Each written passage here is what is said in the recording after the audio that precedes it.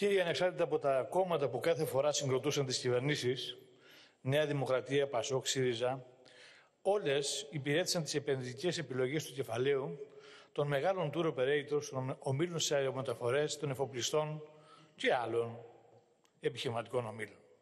Όλες νομοθέτησαν ρυθμίσεις φιλικές, χωροταξικές και περιβαλλοντολογικές, όλες ενέταξαν στο πρόγραμμα δημοσίων επενδύσεων όπως και οι περιφερειακές και οι δημοτικές διοικήσεις, τεχνικά έργα, δαπάνες για έργα υποδομής που εξυπηρετούσαν την υπέρμετρη τουριστική ανάπτυξη.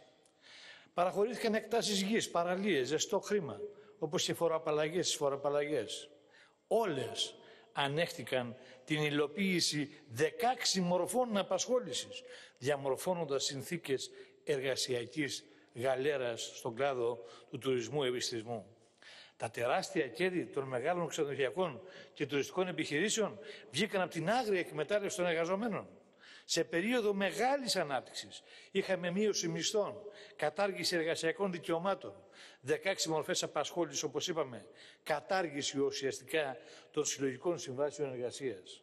Σε περίοδο κρίσης μιλάμε για την απόλυτη εξατλίωση σε βάρος των εργαζομένων και των αυταπασχολουμένων. Από τον περασμένο Μάρτι, ο τουρισμός από βαριά βιομηχανία μετατράπηκε σε ένα βαριά ασθενή που φρενάρει την ίδια την οικονομία.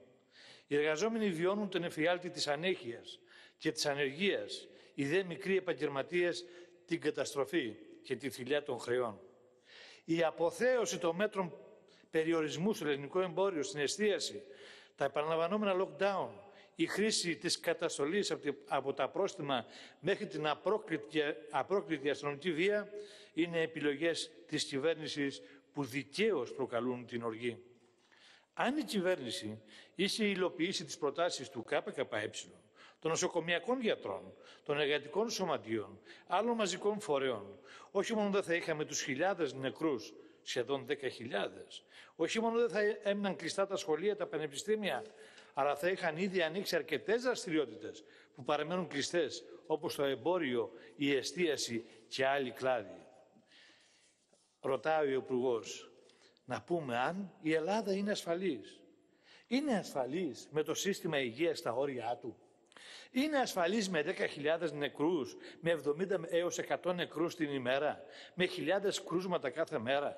Είναι ασφαλής με διασωληνωμένους εκτός ΜΕΘ που πεθαίνουν οι περισσότεροι, με μεγάλες ελλείψεις γιατρών και νοσηλευτών. Είναι ασφαλής με την κατάσταση στα μέσα μαζικής μεταφοράς, στους χώρους δουλειάς που η διασπορά ταξιδεύει, είναι πολύ μεγάλη προτεραιότητά σας όπως φαίνεται είναι η λειτουργία της καπιταλιστικής οικονομίας και όχι η υγεία του λαού. Αυτό επιβεβαιώνεται με την άρνηση της κυβέρνησης να πάρει όλα τα ενδεδειγμένα μέτρα που πρότειναν οι φορείς των γιατρών, υγειονομικών, των εργαζομένων του ΚΚΕ γιατί θα ήταν πράγματι διαφορετική η κατάσταση. Χιλιάδες εργαζόμενοι στον επιστημό τουρισμό, στα τουριστικά γραφεία, οδηγοί τουριστικών λεωφορείων, τουριστική συνοδή ξαναγή, αλλά και άλλοι εργαζόμενοι σε δραστηριότητες που συνδέονται με τον τουρισμό έμειναν εκτός των αναπαρκών μέτρων στήριξης της κυβέρνησης. Η μεγάλη πλειοψηφία βιώνει την απόλυτη φτώχεια. Αφού ένα χρόνο τώρα και πάνω ζει στην καλύτερη περίπτωση με 9 ευρώ την ημέρα. Τα προγράμματα αυτά, ΣΟΥΡ της Ευρωπαϊκής Ένωσης, όπως αναφέρθηκαν από τον, Υπουργό, από τον πρώην Υπουργό Εργασίας της κυβέρνησης της Νέας Δημοκρατίας, εξειδικεύτηκαν από την κυβέρνηση με το πρόγραμμα αναστολής και το συνεργασία για να στηρίξει και να ενισχύσει την παραπέρα ανατροπή των εργασιακών και ασφαλιστικών δικαιωμάτων, να απαλλάξει τους εργοδότες ακόμη και από την καταβολή της αμοιβής για παροχή εργασίας καθώς και από ασφαλιστικές εισφορές. Το ΚΚΕ όλο αυτό το χρόνο στάθηκε στο πλευρό των εργαζομένων, στον τουρισμό, επιστησμό αλλά και τις μεταφορές. Με δέκα ερωτήσεις, πέντε επίκαιρες, δεκάδες αναφορές των σωματείων, καθώς και τροπολογίες απαιτώντας στήριξη των εργαζομένων στον επιστησμό τουρισμό ανεξάρτητα από εργασιακή σχέση. Απαιτήσαμε κανείς να μην μείνει χωρίς αξιοπρεπές εισόδημα, πλήρη ασφαλιστική κάλυψη, ουσιαστική προστασία της υγείας, ουσιαστική στήριξη των ανέργων, υπογραφή και εφαρμογή των συλλογικών συμβάσεων. Τα μέτρα στήριξης της κυβέρνησης είναι επίσης ανεπαρκή και για τους μικροεπαγγελματίες του τουρισμού και τη εστίαση. Δεν μπορούν να αντιμετωπίσουν υποχρεώσεις και τρέχουσες ανάγκες, παρά μόνο μετατοπίζεται τα διέξοδα των επαγγελματιών την επόμενη μέρα. Μια επόμενη μέρα που στι σημερινές συνθήκες αβεβαιότητας και κρίσης της οικονομίας στη χώρα και διεθνώς θα εξελιχθεί κυριολεκτικά σε γολγοθά. Γι' αυτό το ΚΚΕ κατέθεσε πρόταση νόμου για γενναία διαγραφή χρεών των επαγγελματιών, μείωση της φορολογίας τους και επιστροφή σε αφορολόγητο, ε, επιδότηση ατομικών ασφαλιστικών εισφορών, αποζημίωση χιλίων ευρώ για κάθε μήνα περιοριστικών μέτρων, αφορολόγητο όριο στα 12.000 ευρώ εισόδημα, κατάργηση τέλους επιτιδεύματος κτλ. Πρόκειται για μέτρα που μπορούν να προσφέρουν ουσιαστική ανακούφιση και γι' αυτό και οι επαγγελματίες με τον αγώνα τους χρειάζεται να πιέσουν για την υλοποίησή τους. Ισχυρίζεστε στην υπερώτηση, κύριε του Κινέλ, ότι η κυβέρνηση δεν απέτησε ενιαίο πλαίσιο για τα ταξίδια από την Ευρωπαϊκή Ένωση. Το όποιο πλαίσιο καθορίζεται από τις αεροπορικές εταιρείες, τους εφοπλιστές, τους tour operators, τους μεγάλους επιχειρηματικούς ομίλους του τουρισμού. Αυτό το πλαίσιο ίσχυσε πέρυσι, αυτό και φέτος προσαρμοσμένο το άνοιγμα του τουρισμού από 14 Μαΐου, όπως προκύπτει από τις απαιτήσεις των μεγάλων επιχειρηματικών ομίλων του τουρισμού και των μεταφορών, θα ανοίξει με υγειονομικά πρωτόκολλα πολύ πίσω και από πέρυσι, που οδήγησε σε χιλιάδες κρούσματα στο δεύτερο κύμα της πανδημίας. Το πιστοποιητικό εμβολιασμού που προβάλλει η κυβέρνηση προστατεύει τον εμβολιαζόμενο και όχι τους υπόλοιπους. Τα self-test απογειώνουν την ατομική ευθύνη. Μεταφέρουν την ευθύνη της κυβέρνησης για την προστασία της υγείας στο λαό. Λέμε ότι η κυβέρνηση της Νέας Δημοκρατίας, λέτε εσείς ότι η κυβέρνηση της Νέας Δημοκρατίας δεν έχει σχέδιο. Ο τουρισμός είναι στον αυτόματο πιλότο. Η κυβέρνηση της Νέας Δημοκρατίας έχει σχέδιο. Είναι το σχέδιο των μεγάλων επιχειρηματικών ομήλων. Αυτό υπηρετήσατε και εσείς ως κυβέρνηση όπως και ο ΣΥΡΙΖΑ. Αναφέρεστε στα κόκκινα δάνεια των επιχειρήσεων. Ο λαός μας πληρώνει το χρέος που δημιουργήσατε όλοι σας για τις ανάγκες του κεφαλαίου που έχει φτάσει σχεδόν στα 400 δις ευρώ. Τα δάνεια για την τουριστική ανάπτυξη τα πληρώνει ο λαός πολλαπλά. Κύριε για την εκπαίδευση, όπως αναφέρεστε στην ε, επίκαιρή σας, η υποβάθμιση των πτυχίων, η αποσύνδεση από τα επαγγελματικά δικαιώματα ήταν επιλογές που έγιναν απαιτήσεις των, που έγιναν απαιτήσεις των επιχειρηματικών ομίλων.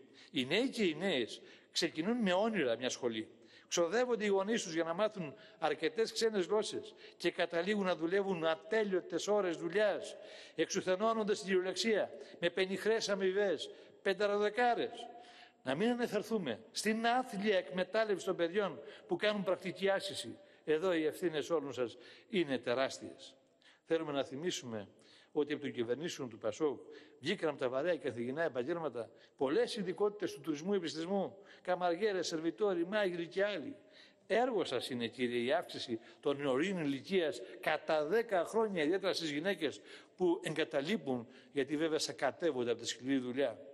Η κυβέρνηση ετοιμάζει το νέο έγκλημα σε βάρος των εργαζομένων, την κατάργηση του σταθερού ημερήσιου χρόνου του 8 ώρου την νομοθέτηση της δεκάωρης δουλειάς, την αύξηση των υπεροριών σε 150 ώρες, την κατάργηση της επαργίας, την στήριξη επεργοσπασίας με ποινικοποίηση της παρεμπόδισης, την ηλεκτρονική ψηφοφορία για την απεργία και για εκλογή διοικητικών συμβουλίων και αντιπροσώπων σε σωματεία με καθοριστική την παρέμβαση της εργοδοσίας για το αποτέλεσμα, την ιδιωτικοποίηση προς το παρόν της επικουρικής ασφάλισης. Η κυβέρνηση μες χιδέα ψέματα επιχειρεί να κάμψει την οργή και την αγανάκτηση. Παρουσιάζει το νομοσχέδιο ως τετραήμερη εργασία.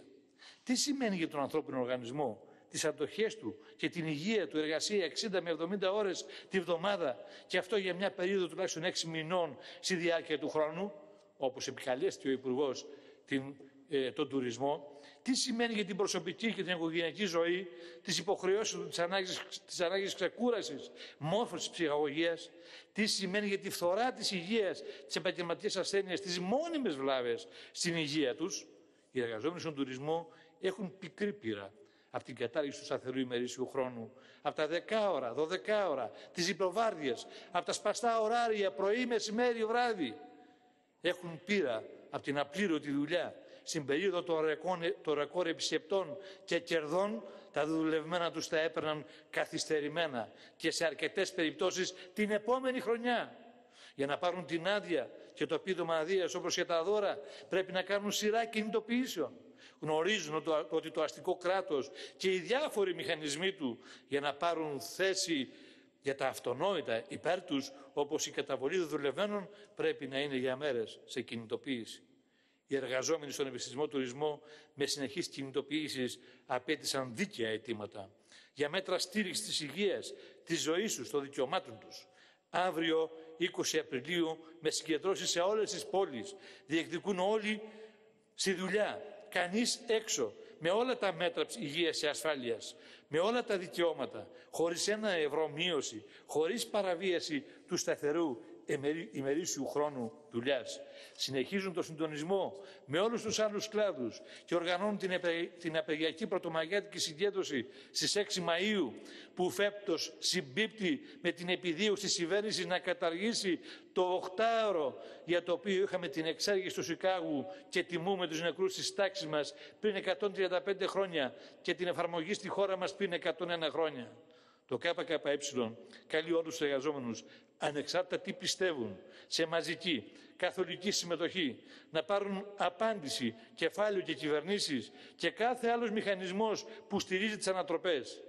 Επειδή τίποτα δεν είναι μόνιμο με την ουσία του κεφαλαίου, ακόμα και την εμβληματική κατάκτηση του οχταώρου καταργούν, καλούμε τους εργαζόμενους να κάνουν δική τους υπόθεση την πρόταση του ΚΚΕ για απαλλαγή από αυτό το σύστημα που το μόνο που δίνει είναι πόλεμοι, κρίσεις, δυστυχία.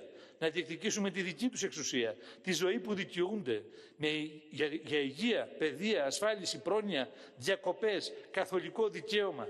Τα εργοστάσια, τα καράβια, η γη, οι τουριστικές υποδομές να παράγουν για την εικονοποίηση των δικών τους αναγκών, των αναγκών του λαού και όχι για τα κέρδη μιας χούφτας καπιταλιστών. Είναι μονόδρομος ο αγώνας για μόνιμη και οριστική λύση των προβλημάτων της εργατικής τάξης και του λαού. Σε αυτό το δρόμο καλούμε σε συμπόρευση με το ΚΚΕ.